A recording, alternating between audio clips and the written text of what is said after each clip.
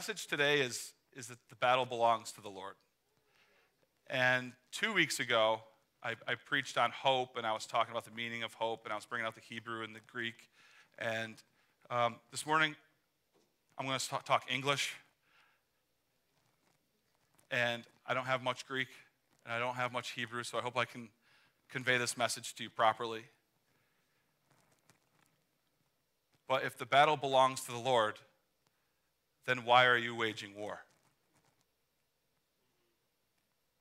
Every season of your life is going to bring a new battle. And it's up to you to decide whether that battle belonged to the Lord or didn't, or you're going to take it, or you're going to run with it. And I kept hearing this song that Phil Wickham song, Battle Belongs. And I woke up one morning two, two weeks ago and just started singing the song. I'm thinking, why am I singing this song? And so I started praying about it. You know, didn't hear like, this is your next sermon. But then I heard my wife singing the song. And then I came into the office and I heard Dawson singing the song. And then I'm like, what are you trying to say, Lord?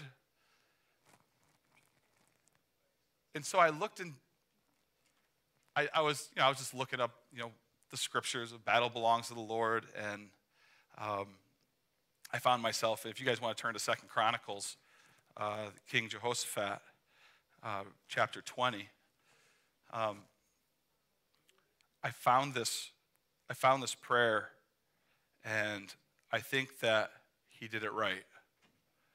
And uh, if you look at that, you know, the chapters are often labeled, and this, it says Jehoshaphat's prayer. And uh, I find it super powerful uh, what he did. Um, you know, the Old Testament is like having children. Um, it's, it's war everywhere. I was just like just reading one chapter, and I'm thinking like the, all these clans are coming against the, you know, king of Judah, and i thought this is like what's like to have children. Like, raise, you know, we just were on a two day adventure back from Orlando. And every once in a while, my wife and I had to say, kids, can you just, just be quiet for a second? Just, just, you know what I'm talking about. Leon, you know what I'm talking about. He's silent right now back there. Something's wrong. You know what I'm saying. I had to, you know, kind of gain my composure and, okay, But as I was reading this, I was thinking, what a powerful, what a powerful way to deal with the situation. Okay? So I'm not going to read the whole chapter, but it starts out with the, the, the Moabites, the Ammonites, you know, the, the Meunites. They came against Jehoshaphat for battle. It said, Some men came and told Jehoshaphat, A great multitude is coming against you from Edom. Later on, it says, And Jehoshaphat stood in the assembly of Judah and Jerusalem in the house of the Lord before the new, uh, before the new court and said, O Lord, God of our fathers, are you not God in heaven? You rule over all the kingdoms of the nations. In your hand are power and might, so that none is able to withstand you. Did you not, our God, drive out the inhabitants of this land? Before your people Israel and give it forever to the descendants of Abraham, your friend. And they lived in it and have built for you in it a sanctuary for your name, saying, If disaster comes upon us, the sword of judgment, or pestilence, or famine, we will stand before this house and before you, for your name is in this house. So if you are the temple, it's your house. What are you claiming over your life? So Amy just got up here and said, I want you to walk through me with me through this scripture. Let's proclaim this over our lives. What are you proclaiming over your life? You know, eh, this thing here is the rudder of the ship. You're, where are you steering? Where are you going? What are you saying? You know, they say that words have vibrations in the air and they're powerful. It's so powerful, the things that you speak over your life. What are the things that you're speaking over your children? this Wednesday night, what are the things that we're going to speak around the table?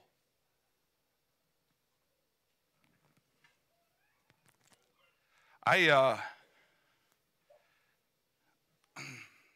we run a homeschool group, and uh, we were in, um, we were in what they call a practicum, and um, they do one every year for training purposes. And I remember sitting there, and we were around this table,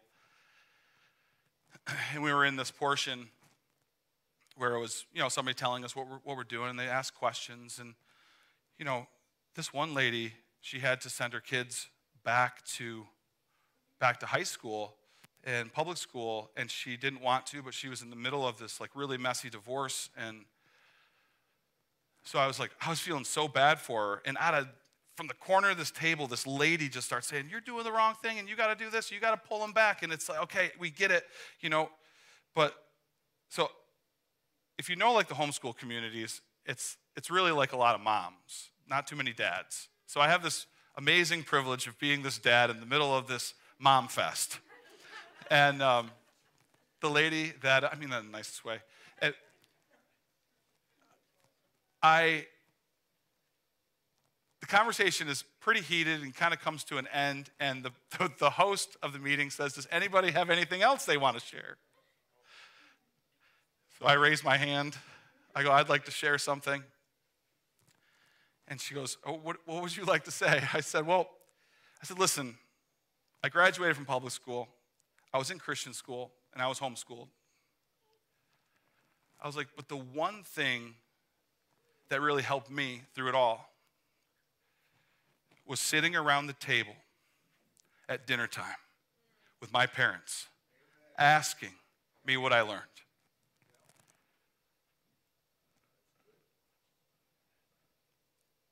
So I was telling this lady and trying to give this lady hope and telling her, listen, it's up to you.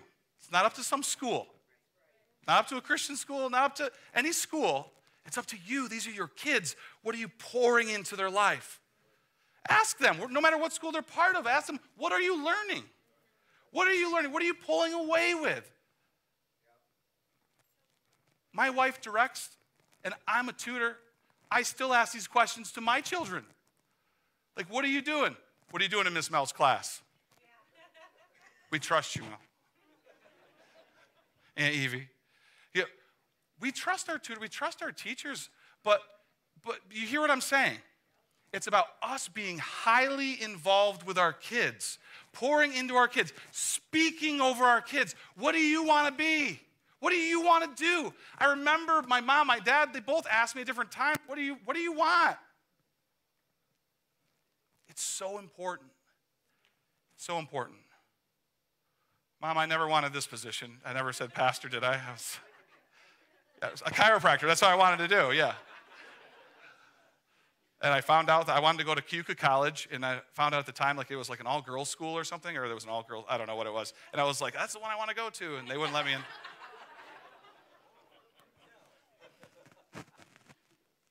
Oh, sorry, that was a raw moment. So, anyway, verse 13 here. Meanwhile, all Judah stood before the Lord. Sorry. With their little ones, their wives, and their children. And the Spirit of the Lord came upon someone with all these names. And he said in verse 15, Listen, all Judah and inhabitants of Jerusalem and King Jehoshaphat, thus says the Lord, do not be afraid and do not be dismayed at the great horde, for the battle is not yours, but God's. Tomorrow go down against them. Behold, you will uh, come up against the, uh, the ascent of Ziz, for you, uh, you will find them at the end of the valley, east of the wilderness of Jeruel. He's telling them even where they're going to be.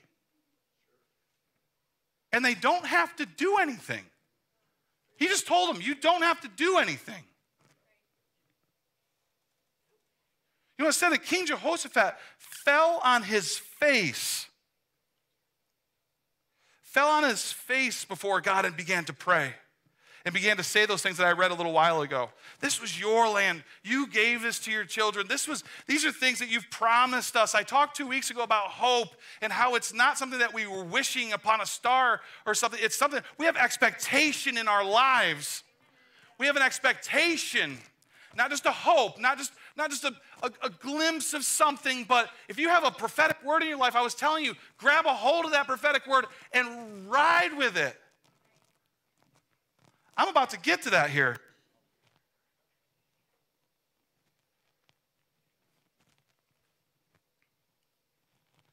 Where does it say? Right there, verse 20. And they rose early in the morning and went out into the wilderness of Tekoa. And when they went out, Jehoshaphat stood and said, Hear me, Judah and inhabitants of Jerusalem. Believe in the Lord your God, and you will be established. Believe in his prophets, and you will succeed. That's it. And when he had taken counsel with the people, he appointed those who were, uh, who were to sing to the, to the Lord and praise him in holy attire. And they went before the army and, uh, and say, Give thanks to the Lord, for his steadfast love endures forever. Then you go on to read the whole thing. He, they did nothing. They did nothing. He prayed. He sought the Lord for direction and security followed the words of the prophet. Just before, in, in the beginning of that chapter, the prophet prophesied. Said you're going to win. You don't have to do anything. So now let's take that into your application. Now, how are you going to apply that to your life? What are you going to do? See, the one reason why I want to get into some more dialogues with you guys on Wednesday nights is because I want to hear from you. I want, I want to know what's going on in you. What's, how, how can we help? Or how can you help me? I have battles. Fight battles every day sometimes, you know, and then it's like, no, Lord, this is you, you've assigned, you know, I have to turn to God and say, No, Lord, you've assigned me to do this. If you've assigned me to do this, you're going to give me everything that I need to complete my job. So in your life, He's given you everything that you need to do, and all the tools, all the gifts to complete your work. Now, let's take gifting and all that stuff aside. You're human. You have a spirit, cavaring with God, entwined with God's spirit.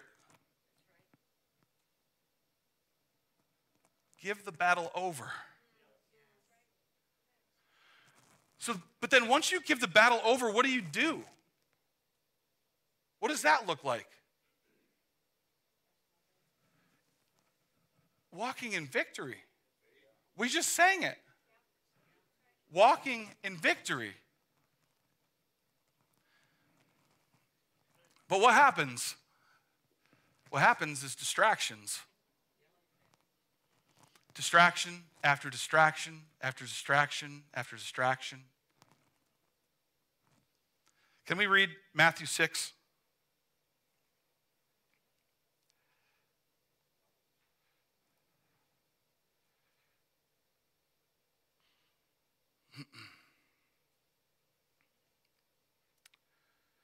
Matthew 6. Where was I? Verse 20? 25?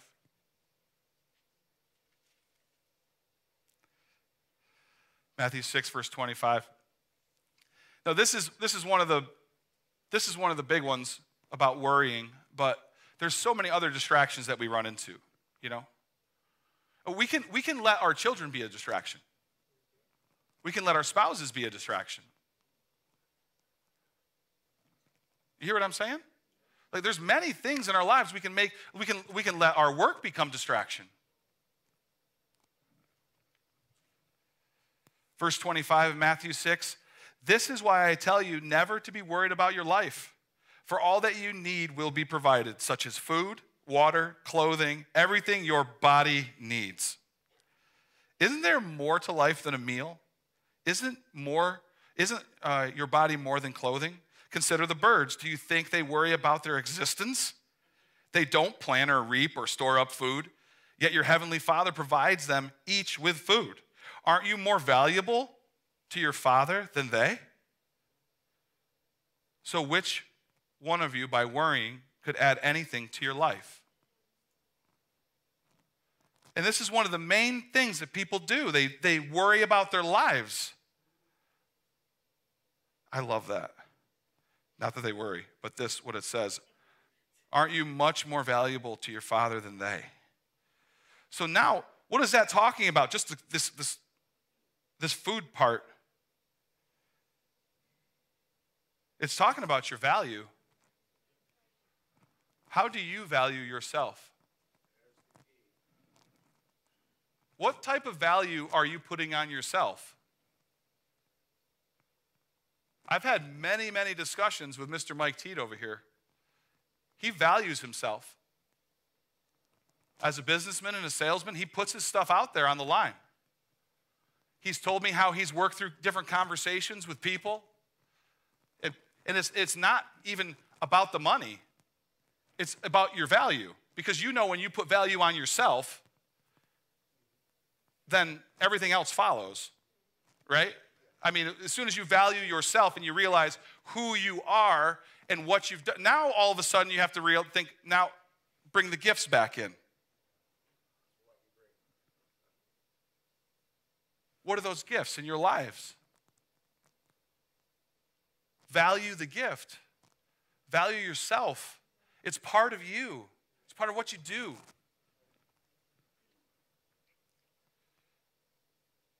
Verse 28 And why would you worry about your clothing? Ladies, I just spent some time at the mall in Orlando. You know what, though? My wife and my children were not worried. They weren't worried at all. I had this little guy right here. I was just transferring money. I was worried. They weren't worried. They just decided, we're, you know, my main goal when we got to Florida, I told Ava, was I'm keeping you out of every H&M store.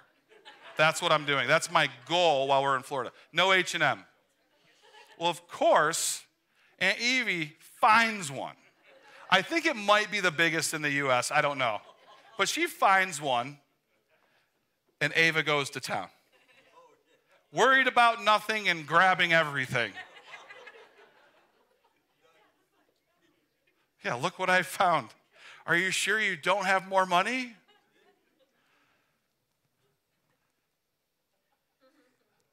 As I thought about that this morning, I thought about how I don't have to worry about what I am going to wear. And I began to think about my value how God sees me. And I am his son. And it's not my job to worry about the battle. Because if the battle belongs to him, then I need to walk a victorious life because he doesn't lose. Yes, right. Lose. Maybe you can say, God doesn't lose. God doesn't lose. That means you don't lose. That means you've won. The battle belongs to the Lord. You walk in victory. And you have to remind yourself. When they were buying clothes, I had to remind myself I walk in victory. I might have to transfer some money, but that's okay. Money's there to spend, right? Men? Wow, it's like girls are like, yes, it is. Money's there to spend. Guys are like, what are you talking about? I'm, I'm a spender though, so it's opposite with me. I'm a spender, she's not. I just happen to not like H&M clothing. So it's But she does and she's in the get up here. So Look at the beautiful flowers of the field. They don't work or toil. And yet, even Solomon, in all of his splendor, was robed in beauty like one of those, or not even Solomon in all of his splendor was robed in beauty like one of these. So if God has clothed the meadow with hay, which is, which is here for such a short time and then dried up and burned, won't he provide for you the clothes you need, you of little faith? So then, forsake your worries. Why would you say, What will we eat? Or what will we drink? Or what will we wear? For that is what the unbelievers chase after. I don't know if that just shot chills down your spine, but it did me. That's what the unbelievers chase after. Doesn't your heavenly Father already know the things your bodies require? So, above all, consistently seek God's kingdom. Maybe you can say consistently. So, above all, consistently seek, seek God's kingdom and his righteousness then all these less important things will be given to you abundantly. I love how the Passion puts that. All these less important things. God's going, He goes, I, get, I have all your food, I have all your clothes, I, I know what you're gonna, I know all these things. Value yourself.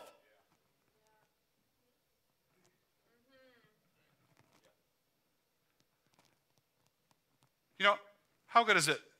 Lady, look, all three of you sitting there with clothes from H&M. Yeah, we're going back to this. I'm going back to this. I'm not sore, okay? I'm not sore. No, I got more money to spend on you guys. You know. But how good does it make you feel to be in a new outfit? Is it good? I mean, what is it about that? Like, you're just like, you're in that shirt. Dawson, you're smirking too much back there. You know I'm not lying. You feel good, right? Look, your, his hands are behind his head. He's chilling in his sweater. That's what he's doing. And the Lord's looking at these things, going, Yeah, I gave that to you. I gave that to you. I gave that to you. Yep, that money in your pocket, I gave that to you to spend on those clothes to make you feel good about yourself.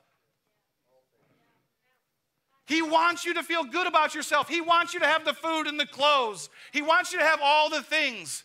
He just says they're less important. So all you have to do is set some of those things down. I don't serve my clothes, I don't serve my money. My money serves me because that's what God gave me because I serve God. And when I can put the things in order,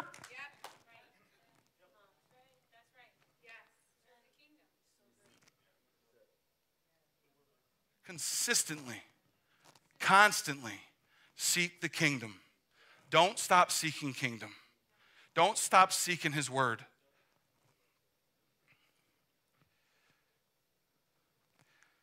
says in verse 34 refuse to worry about tomorrow, but deal with each challenge that comes your way one day at a time. Tomorrow will take care of itself. You know, that's a big one. That is a really big one because I have this thing called a Google Calendar. And if I showed you right now, you would probably get sick because there's so much on there. And I tend to, now listen, we have to have order in our lives. That's what it does. You know, I look at it and go, oh, that's what I'm doing today. Right. Okay, I got to do this. I got to go.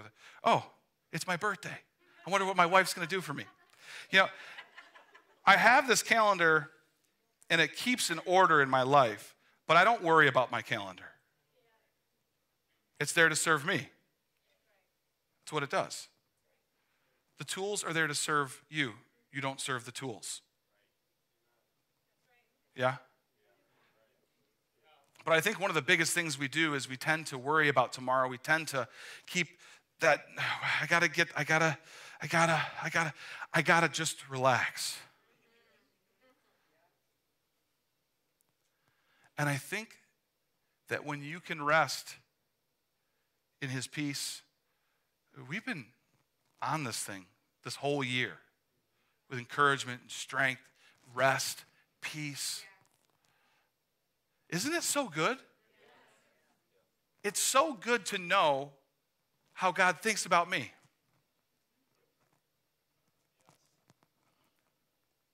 Isn't that wonderful? Maybe we could take a second. Okay. Just close your eyes and just begin to, th- to think about how God thinks about you. You can think about the things He's given you.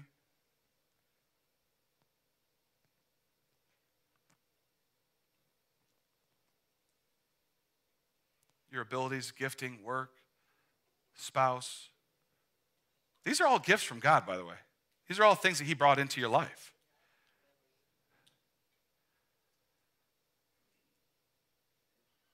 Wow. I get so overwhelmed.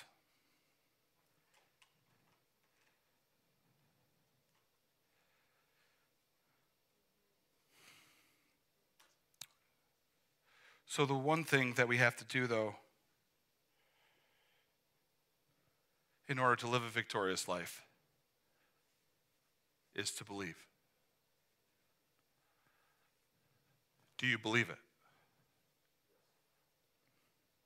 I heard one yes. I know this is like this is the problem. I'm talking like this is like a monologue going on here, like a, and, yeah. It's we have to we have to believe. So what does it do? So I was listening to this guy the other day. Not going to say his name, but I was listening to this guy the other day, and he was saying the problem with belief is in, in the American society and our culture is like that it's, it's we're, we're not using the word right. So I, we've been on this word kick for a long time. So we're not using the word right. And so he said, because if you are to believe, that means that's the way you live your life. Now be, start to think about the way you live your life and what you believe. Is what you believe over here and the way you live your life over here? Or are, are they together? This is for you to think about right now. I was thinking of like you look at websites and you see the belief statements. You see, uh, especially with churches, you know what we believe, and you know, uh, it's it's so important. It's so crucial. The guy talks a lot about children and families and stuff like that. And but when he said that, I was like, it's so true. We just don't we just don't have we, we just like to use words. And we don't realize how powerful they are. So, what do we believe? In order to live a victorious life, we have to know our identity. We preach this all the time. And we walk in it. We walk in it. So I want to challenge you this week, this year, whatever it is, like look at your belief. What do you believe? What is it that you believe that is just ingrained in you? You know, and how are you communicating that? How are you living that? A couple weeks ago, I talked about that the whole abstract to concrete concept. It's like the belief in my, in my head is a, it's a great concept, but then I know when I start to live it out, I'm going to get ridiculed. It's real. And it's like, and I try to weigh those things, and I'm like, eh, do I want to get picked on or do I want to look cool? Well, what do you believe? What do you believe? I want to turn over to Romans 8 in the mirror translation here.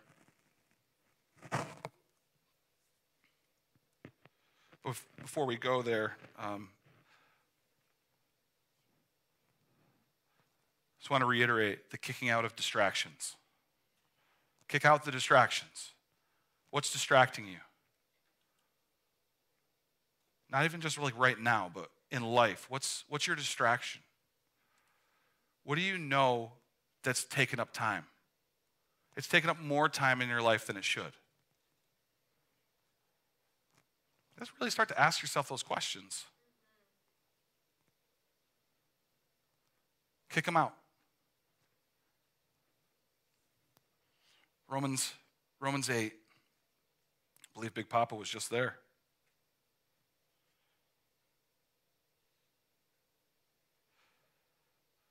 So, Romans 8, verses 28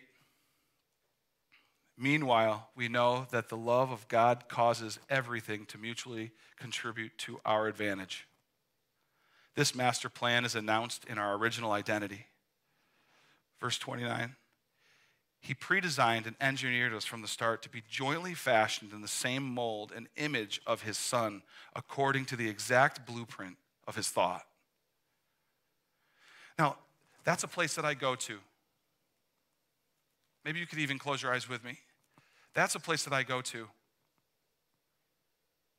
when I, in order to kick out distractions, in order to, in, in order to, to lock in with God. I want His thoughts. Just what is said there. He pre designed and engineered us from the start to be jointly fashioned in the same mold and image as His Son, according to the exact blueprint of His thought. So I say, Lord, what are your thoughts for me? What are your thoughts? We see the original and intended pattern of our lives preserved in His Son. He is the firstborn from the same womb that reveals our Genesis. He confirms that we are the invention of God. I don't know if that changes your thought process either. You're God's invention.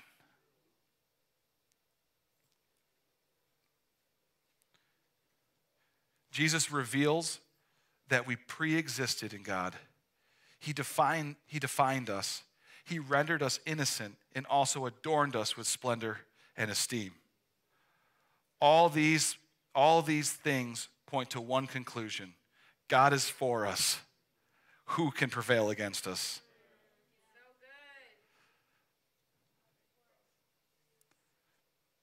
Maybe you could say that God is for us. Who can prevail against me?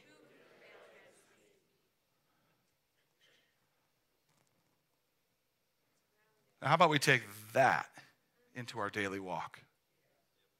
Take that into your daily walk. Begin to repeat those things over and over and over in your life. You know, that's why I'm not I'm not like keen on um, I'm, I'm big on deliverance and not so keen on counseling just because the counseling is, is, is like me trying to change you. We were just talking about this in Bible study. It's like the counseling is kind of like me trying to change your thoughts and, and work with you to think differently. And, but a deliverance happens in an instant. You're delivered from something, you're set free, but then there's still, there's still some help. There's still some work there that needs to be done. It's like salvation. It's like, okay, I'm saved. Now what? All your problem, all your bills just got paid, all these things just No, it's not what happens. It's a lifestyle that you begin to live. It's something that you take on. It's your new life. And it begins to change everything. Once you can put those things in order.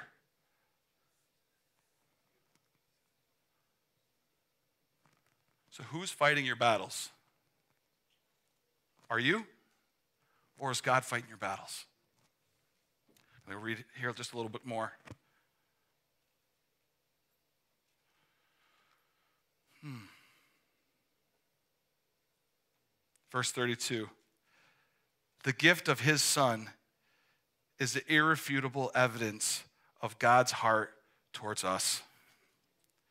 He held nothing in reserve, but freely gave everything we could ever wish to have this is what our joint sonship is all about. Everything we lost in Adam is again restored to us in Christ. Sin left mankind with an enormous shortfall. Grace restores mankind to excellence. Can you say, I've been restored to excellence? That's an awesome start right there. I've been restored to excellence. I don't care what Polly thinks about me. Thank you. I love you, Polly. Or Jake. You know, I've been restored to excellence, man. And when we're restored to excellence and we can think about that and we know God's thoughts and we know the blueprint and we begin to walk it out in lifestyle, isn't that such a beautiful thing? Isn't that what it's all about? And all the gifts and all the things that God has given us, they just come. That's that's easy. The lifestyle is really easy too. But it's about walking. It's about walking in the excellence. It's about being excellent because you know you are excellent. If God called you excellent, why do you call yourself something else? If God called you his son, why do you call yourself something else?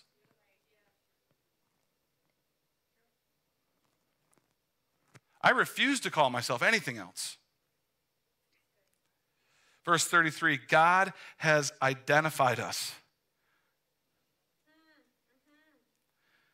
Who can disqualify us? His word is our origin. No one can point a finger. He declared us innocent. Ah, I'm just telling you these things because the battle belongs to the Lord.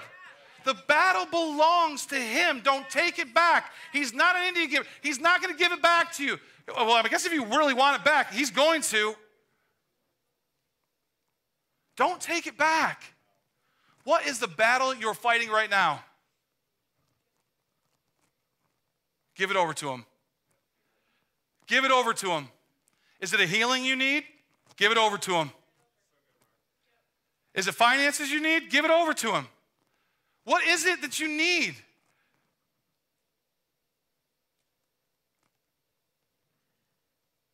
Now make sure it's this isn't like a wish list. This isn't Christmas, man. This is this is Christianity. This is who we are. God called me excellent, so I'm going to live an excellent life. And what does that excellence look like? Why do we always try to define God's excellence? We always try to define the things. We try to, but this is it, and this is it, and it is constantly changing. It's, it's ever eluding us from season to season. We think we got something figured out, and it's like, oh, no, no, no, I, want, I had it figured out. Now I got to move out of my parents' house and go to and rent an apartment. Or now I, what's the season you're in? God wants, He knows the season you're in. He just wants to be a part of it. He wants the whole thing.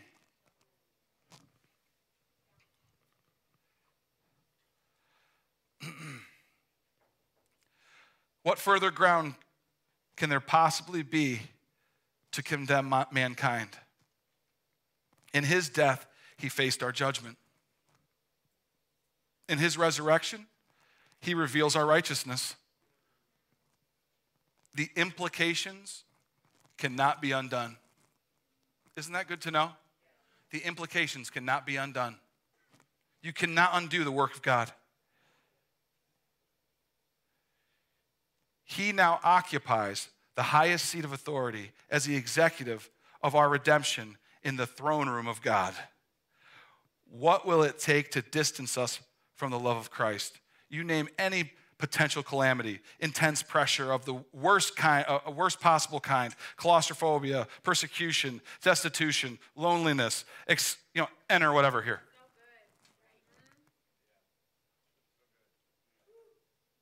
Life threatening danger or war. Let me quote scripture to remind you. Here's Paul quoting scripture to the Romans. Because of our association with you, we were reckoned as sheep to be slaughtered. We have been jointly slain on that day. On the contrary, in the thick of these things, our triumph remains beyond dispute. His love has placed us above the reach of any onslaught. This is my conviction. No threat, whether it be in death or life, be it celestial messengers, demon powers, or political principalities. Nothing known to us at this time or even in the unknown future. No dimension of any calculation in time or space, nor any device yet to be invented, has what it takes to separate us from the love of God unveiled in our Lord Jesus Christ. Please stand to your feet. So there is nothing that's going to separate you unless you let it. Nothing. What is the battle you're facing now? What is the battle you're facing now? Because I want to pray for it. Is that okay? It is with a couple of you? That's good.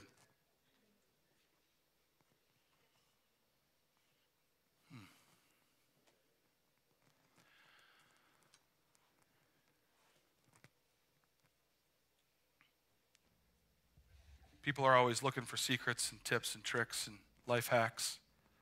I'll give you one. Love the Lord with your whole heart. Don't lean on your own understanding. But in all things, acknowledge Him.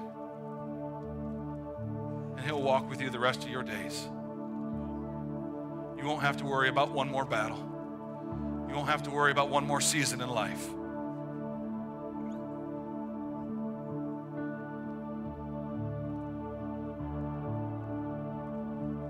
Says, all the lesser things will be added unto you.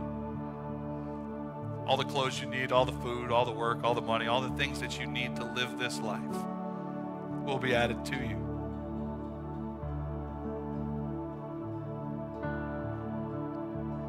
Maybe just closing with God just for another minute here.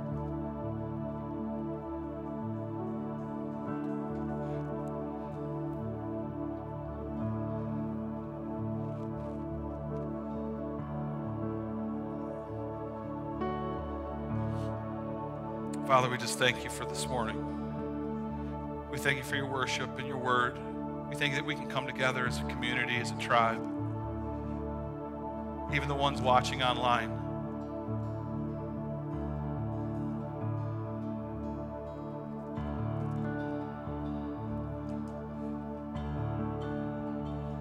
I thank you that we have everything that we need.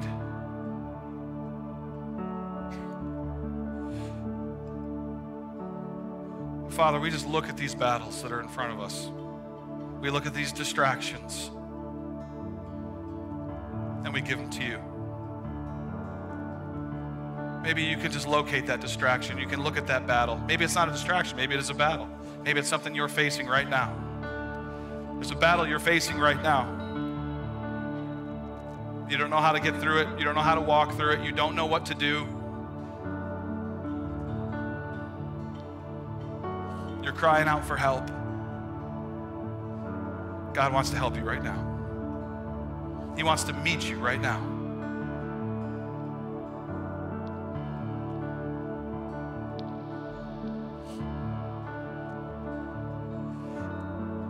If you think it's something that you can't handle and you want prayer for, I would love to pray for you. So if it's that's if that's you, I'd love for you to come forward. I would love to pray for you now. If it's something that you can handle, I want you to look that battle straight in the face and say, You belong to the Lord. Say it out loud. You belong to the Lord. You belong to the Lord. There's power in your words.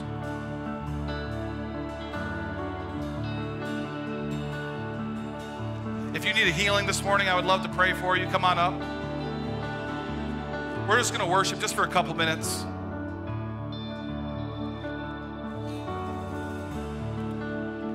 Sometimes I see body parts. I didn't see anything like that this morning. The Lord just asked for a asked for me to pray for people that needed healing. Just simple. He wants to he wants to pour out on you. He wants to pour his healing out on you. Father, we just thank you for this time together.